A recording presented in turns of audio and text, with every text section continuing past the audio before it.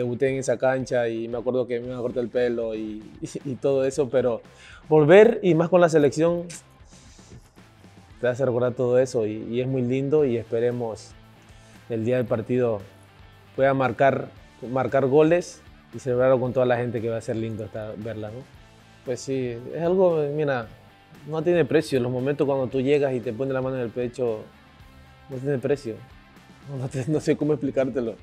Porque es algo que, o sea, si, si tú como persona tienes tu objetivo claro, como te digo, y tienes fe de que lo vas a lograr, te, te esfuerzas el doble. Entonces, lo que yo estoy viviendo ahora con la selección, o sea, es algo que, que yo lo soñaba y lo estoy cumpliendo gracias a Dios. Porque tú, tras pantalla, tú celebras los goles de la selección. Ahora te lo toca celebrar dentro de la cancha.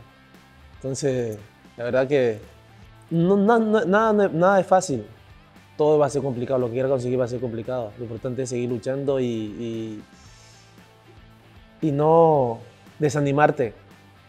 Tú eres tu propia motivación, tu familia.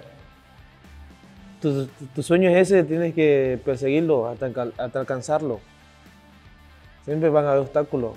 Nada en la vida es fácil. Todo es complicado. Lo importante es seguir luchando hasta conseguirlo. Lo importante es nunca rendirse y nunca perder la fe. La fe, perder la fe es la, última opción. Cuando la última opción no tiene que haber, tiene que seguir hasta lo último. Siempre agradecer a Dios, porque Él es el que te, cumple los sueños. Una vez piensa que es por tu propio esfuerzo. Sí tiene un punto tu propio esfuerzo. Pero la mayor, lo mayor puntaje se lo lleva el de arriba.